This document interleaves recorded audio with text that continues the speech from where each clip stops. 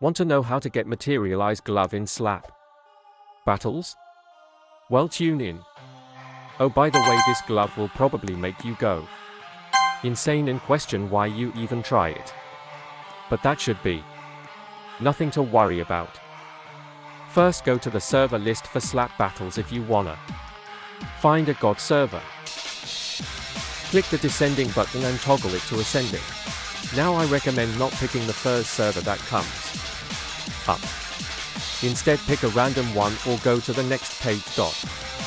This should work on mobile too. Now pick Megarock.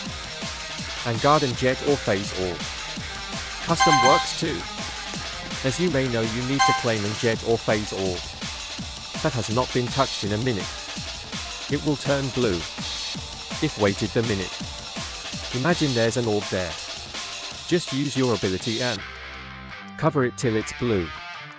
Be careful of swapper and defenses as they can push you away from the orb.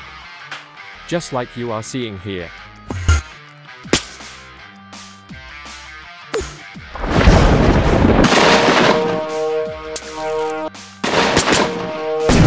Use swapper to swap into guarding Megarocks.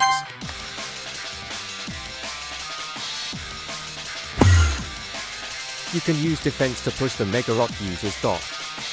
You will need to trigger it as soon as they get out of the rock, so they don't steal it.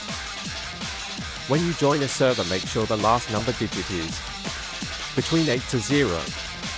The jet orb has a 10% chance of spawning each 10 minutes so it should spawn when that number is between 8 to 0. Here's me getting it after so long.